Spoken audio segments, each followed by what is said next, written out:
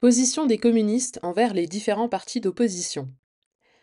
D'après ce que nous avons dit au chapitre 2, la position des communistes à l'égard des partis ouvriers, déjà constitués, s'explique d'elle-même, et, partant, leur position à l'égard des chartistes en Angleterre et des réformateurs agraires dans l'Amérique du Nord.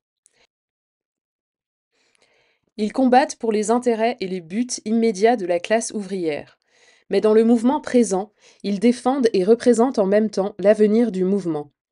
En France, les communistes se rallient au Parti démocrate-socialiste contre la bourgeoisie conservatrice et radicale, tout en se réservant le droit de critiquer les phrases et les illusions léguées par la tradition révolutionnaire. En Suisse, ils appuient les radicaux, sans méconnaître que ce parti se compose d'éléments contradictoires, moitié de démocrates socialistes, dans l'acception française du mot, moitié de bourgeois radicaux. En Pologne, les communistes soutiennent le parti qui voit, dans une révolution agraire, la condition de l'affranchissement national, c'est-à-dire le parti qui fit, en 1846, l'insurrection de Cracovie. En Allemagne, le Parti communiste lutte d'accord avec la bourgeoisie toutes les fois que la bourgeoisie agit révolutionnairement contre la monarchie absolue, la propriété foncière féodale et la petite bourgeoisie.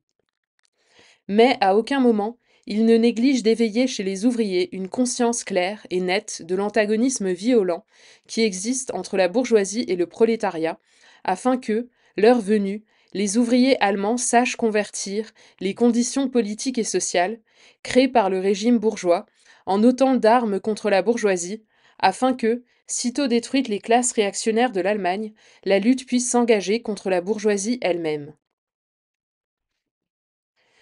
C'est vers l'Allemagne que se tourne surtout l'attention des communistes, parce que l'Allemagne se trouve à la veille d'une révolution bourgeoise, parce qu'elle accomplira cette révolution dans des conditions plus avancées de la civilisation européenne et avec un prolétariat infiniment plus développé que l'Angleterre et la France au XVIe et au XVIIIe siècle, et que par conséquent, la révolution bourgeoise allemande ne saurait être que le prélude immédiat d'une révolution prolétarienne.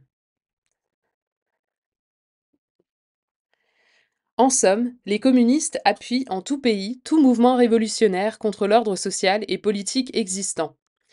Dans tous ces mouvements, ils mettent en avant la question de la propriété à quelque degré d'évolution qu'elle ait pu arriver, comme la question fondamentale du mouvement. Enfin, les communistes travaillent à l'union et à l'entente des partis démocratiques de tous les pays. Les communistes ne s'abaissent pas à dissimuler leurs opinions et leurs projets. Ils proclament ouvertement que leurs buts ne peuvent être atteints que par le renversement violent de tout l'ordre social passé. Que les classes dirigeantes tremblent à l'idée d'une révolution communiste. Les prolétaires n'y ont rien à perdre que leur chaîne. Ils ont un monde à y gagner.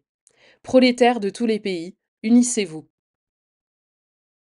Fin du manifeste du Parti communiste.